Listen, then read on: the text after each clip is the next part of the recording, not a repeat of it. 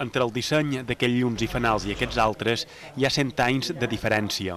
A Can Guardiola, però, han sabut adaptar-se als canvis. Nosaltres el que fem és intentar adaptar-nos molt a les tendències, anant seguint eh, tot, tota la decoració, interiorisme, tot, tot el que hi pot haver damunt tendències de, de decoració i, i, i també juntament amb arquitectes decoradors que, que venen i proposen. Però tant si és per fer una copa, un plat o un setrill, com si és per fer un llum modern, allò que no canvia és la tècnica que aquesta fàbrica utilitza d'ençà del 1719. O sigui, nosaltres seguim fent el mateix, seguim en la mateixa formulació fa 300 anys i s'ha heredat de, de generació en generació i el Consell de Ministres ha reconegut avui la tècnica del vidre bufat com a patrimoni cultural i material i considera que hi ha dos centres de referència, la Reial Fàbrica de la Granja a Segòvia i Can Gordiola a Mallorca. Contentíssim, des de luego, és un, és un, és un orgull i per nosaltres i pels nostres avantpassats també.